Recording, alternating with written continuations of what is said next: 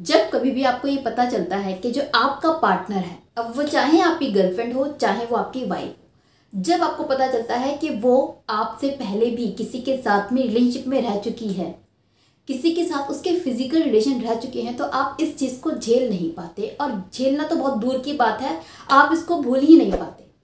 आपके लिए ये चीज़ ऐसी हो जाती है कि नहीं यार, मैं नहीं एक्सेप्ट कर सकता, मैं नहीं एक्सेप्ट करूँगा।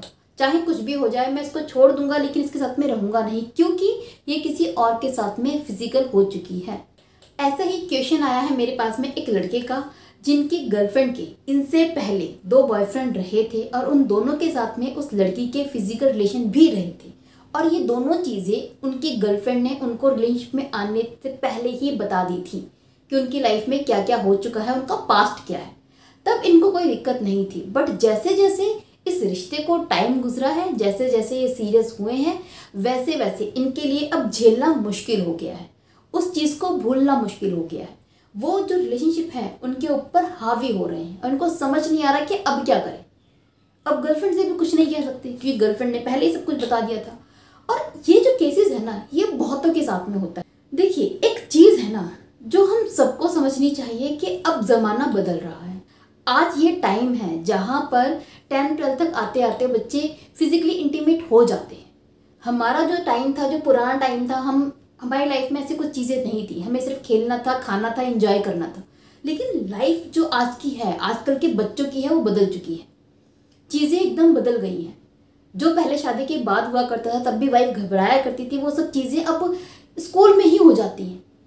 और अगर ये कहें कि लड़कियाँ ही ऐसा करती हैं तो लड़कियाँ किसके साथ में कर रही हैं? बॉयज़ के साथ में ही ना तो बॉयज़ कोई दूध के दूल्हे नहीं है। अगर लड़कियाँ नहीं है तो तो किसी एक को आप ब्लेम करें, ये गलत है। दोनों का इन्वॉल्वमेंट है, ज़माना इस तरीके का है। अब उन लोगों की भी गलती नहीं है, क्योंकि आप मूवीज़ में ये सब देख रहे हैं, आप एड्स में ये सब देख रहे हैं। आपके आसपास सिर्फ़ सेक्सुअल रिलेशनशिप ही दिखता है। बातों में भी बिहेवियर में भी टीवी पर भी स्क्रीन पर भी मोबाइल में भी, यही सब है। कार्टून में भी कार्टून इतने गंदे होते हैं कि आप बच्चों को नहीं दिखा सकते हो। इतने वल्गर होते हैं, उनमें भी सबको सिखाया जाता है, बताया जाता है। तो इन सब चीज़ों से आजकल कोई अछूता नहीं है। आप चाहो या नहीं चाहो, बच्चे इन सब चीज़ों में इंडल्ज हो रहे हैं। आप कहाँ तक कंट्रोल करोगे? और ये हर किसी के साथ में है। तो आज के टाइम पर, इन चीज़ों के नाम पर आप बहुत ज़्यादा किसी को जज करें, ये मेरा पर्सनली मानना है, ये ठीक नहीं है। इन चीज़ों को समझिए कि चीज़ें आजकल ऐसी होने लगी हैं। सौ में से कोई एक ही ऐसा लड़का या लड़की होगी जिसके रिलेशनशिप ना होते हों। लगभग सबके हैं। आज के टाइम पर ऑनेस्टी इस चीज़ पर डिपेंड नहीं करती है कि उसके रिलेशन रहे हैं या नहीं रहे हैं। ऑनेस्टी आप किसी की बेसिस पर जज कीजिए कि वो इंसान आपके लिए अब सच्चा है या नहीं है।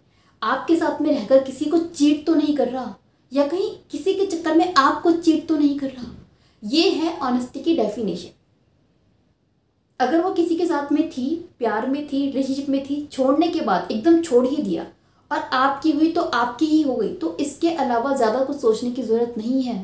क्योंकि इसको छोड़ के आप किसी के साथ में जाएँगे, रिश्ते में तो कोई गारंटी नहीं है कि वो आपके साथ में ऑनेस्ट होगी या नहीं होगी। दूसरी चीज़ जो आपको अपने आप से पूछना है, वो ये कि आपको कैसा लाइफ पार्टनर ज़्यादा प्यारा है, ज़्यादा खुश आप किसके साथ में रहेंगे? एक तरफ़ तो वो जिसके फ़िज़िकल रिलेशन सिर्फ़ और सिर्फ़ और सिर्फ़ आपके साथ में ही रही हैं। आपसे पहले उसने कभी किसी को नज़र उठाकर नहीं देखा।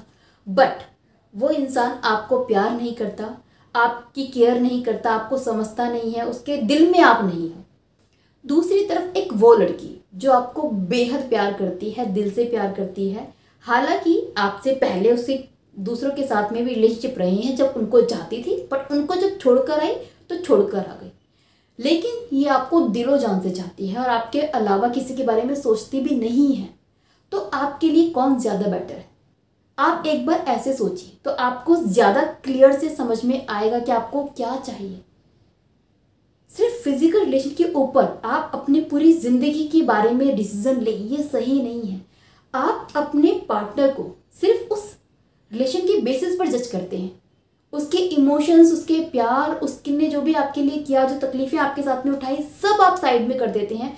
आपके लिए बस एक ही चीज़ की वैल्यू है कि उसके रिलेशन किसी और से थे। वो भी कब? जब वो आपको जानते नहीं थी किसी और के साथ में थी। उसके चक्कर में आप इसको छोड़ दें ये कहाँ तक सही है? आप एक लड़की को सिर्फ़ और सिर्फ़ उसके रिलेशनशिप के बेसिस पर जज करते हैं ये कहाँ तक ठीक है भाई? सो so, कभी भी अपने रिश्ते को ना फ़िज़िकल रिलेशन के ऊपर जज मत कीजिए। कि अगर उसके रिलेशन नहीं है तो वो ठीक है, अगर है तो वो ख़राब है नहीं। इसके अलावा जो रिश्ते में ज़रूरी चीज़ें होती हैं, प्यार, लगाव अंडरस्टैंडिंग सपोर्ट करना, समझना, ये सब चीज़ें रिश्ते में है या नहीं है, इनके बेसिस पे जज किया जाता है कि उस इंसान के साथ में आपको रहना है नहीं रहना और इन्हीं सब चीज़ों की वैल्यू होनी चाहिए।